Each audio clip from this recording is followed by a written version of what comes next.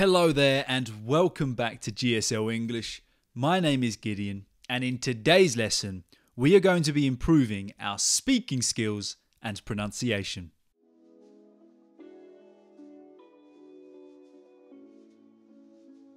It's my pleasure to give you all a very warm welcome back to our class today.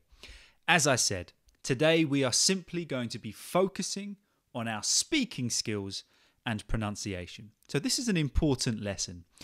The lesson is going to be separated into three parts. Firstly, you will listen very carefully as I speak. Secondly, you will repeat after me. And thirdly, we are going to shadow read together. And that is where you will speak at exactly the same time as me. So let's get into part one. Listen carefully to me speaking, so listen to the pronunciation, but also I want you to listen to the modulation in my voice. And that is where my voice changes. The pace gets faster and slower. The volume goes up and down. Because if we can do this, that is what takes our speaking skills to the next level. So here we go. Listen carefully. I think London really is a fantastic city. I know I might be biased as I've grown up here, but I think it just has something for everyone. There is a buzzing atmosphere at any time of the day. In the morning, you see all the cafes, restaurants, and businesses setting up. And as the day goes on, it starts to fill up with Londoners and, of course, so many tourists. Then in the evening, it really comes alive, particularly in the West End, with all the lights from the theatres getting ready for their shows. Everybody is grabbing a bite to eat, they're having a pint in the pub. There's something unique about it. If you ever visit London and you consider yourself a foodie, you have to go to Borough Market. Honestly, it's a must. There is so much amazing food to try from all over the world. But one thing I love to do in London is just to simply walk around. It's so easy to just get a taxi everywhere or grab the underground to the exact place that you need to go. When we walk around the city, we stumble across some amazing places that otherwise we would have just missed. We find new places to have a drink, grab some food. Actually, some of my favourite spots in London I only know about because I was walking around exploring. Of course, if you are going to do this, make sure you have an umbrella to hand because, as you know, it is England after all. Okay, so now you have an idea of what we are going to say. Now, if you need to listen to that again, that's not a problem. You can even adjust the speed of this video, slow it down, really get it into your heads, understand what we are going to talk about. But now, the next part of the video is I want you to repeat after me. I think London really is a fantastic city. I know I might be biased as I've grown up here. But I think it just has something for everyone. There is a buzzing atmosphere at any time of the day. In the morning, you see all the cafes, restaurants, and businesses setting up.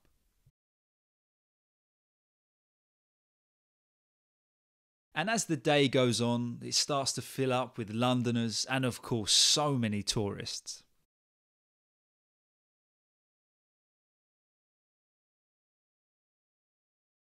Then in the evening, it really comes alive.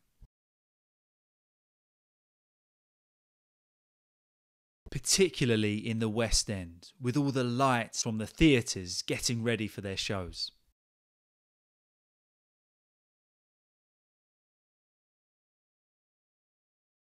Everybody is grabbing a bite to eat, they're having a pint in the pub. There's something unique about it.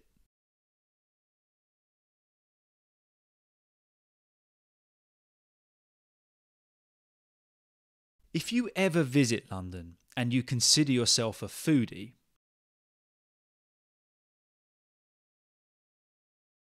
you have to go to Borough Market. Honestly, it's a must.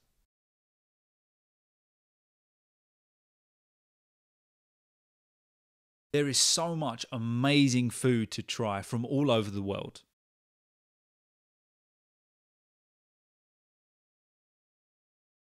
But one thing I love to do in London is just to simply walk around.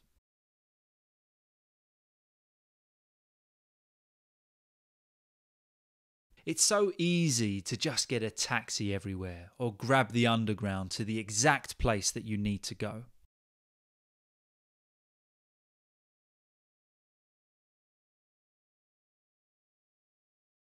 When we walk around the city, we stumble across some amazing places that otherwise we would have just missed.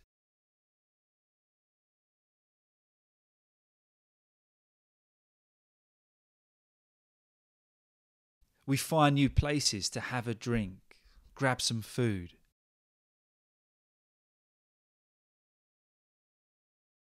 Actually, some of my favourite spots in London I only know about because I was walking around exploring.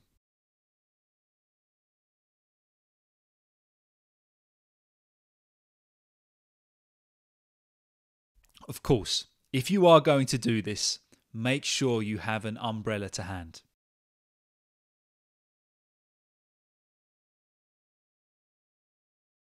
Because, as you know, it is England after all.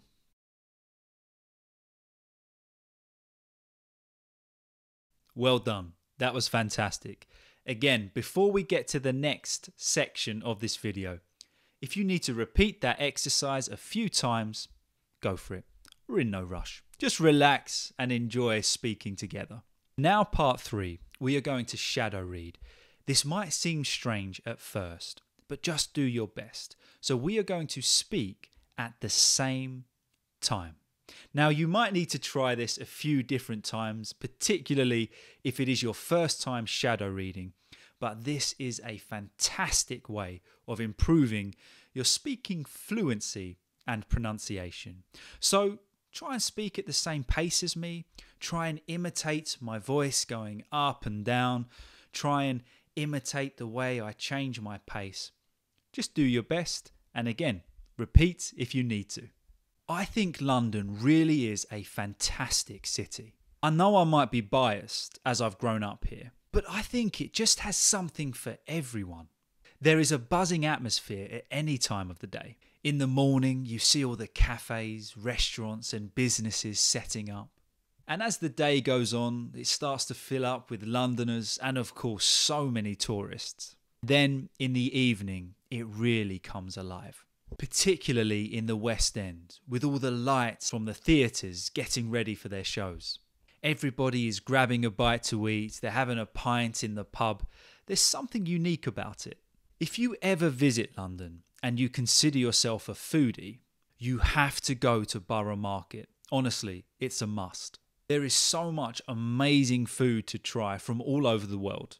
But one thing I love to do in London is just to simply walk around. It's so easy to just get a taxi everywhere or grab the underground to the exact place that you need to go. When we walk around the city, we stumble across some amazing places that otherwise we would have just missed. We find new places to have a drink, grab some food. Actually, some of my favourite spots in London I only know about because I was walking around exploring. Of course, if you are going to do this, make sure you have an umbrella to hand because, as you know, it is England after all.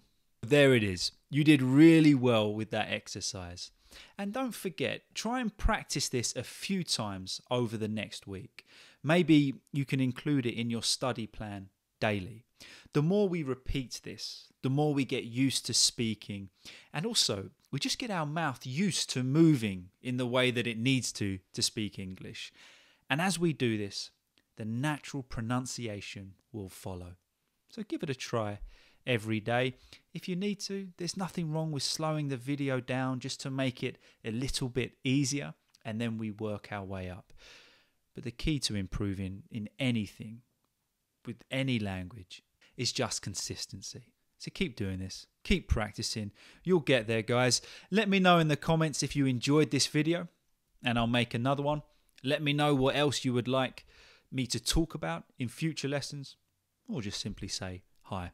Don't forget, Give it a thumbs up, it really helps me out. Subscribe, turn on notifications, and I'll see you all very soon. Have a good one, guys.